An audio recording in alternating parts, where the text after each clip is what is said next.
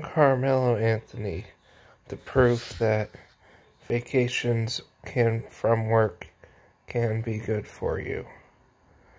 Drew a foul there, had an and one earlier in the game. Carmelo's about to hit another free throw. Is anyone else a Carmelo Anthony fan?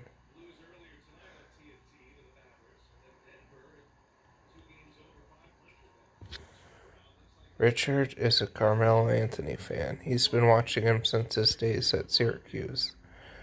No, Richard was not alive when Carmelo was at Syracuse.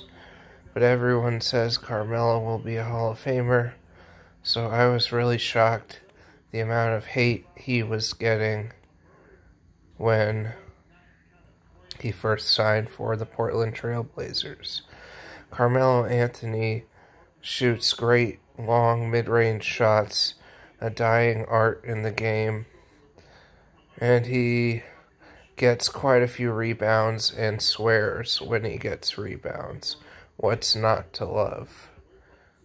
What's not to love is the Portland Trailblazers defense.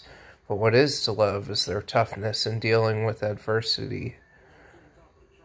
It's especially helped, I think, to have Carmelo score points for their second unit off the bench.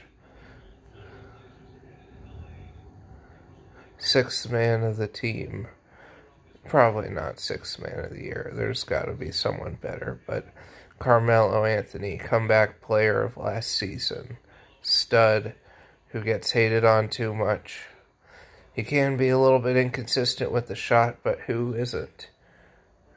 There he is, Carmelo shoots over you, demonstrating his great mid range game. He has at least seven points. That means tonight. Maybe all seven bench points. As the bench unit's really been the ones playing this quarter, and Portland has seven points this quarter. Anyways. Carmelo Anthony fans rejoice that he continues to play in the NBA to this day. He's getting up there in years, but I hope he stays on Portland for as long as he goes. He got way too much hate, just like Jameis and I, from the lame sports media.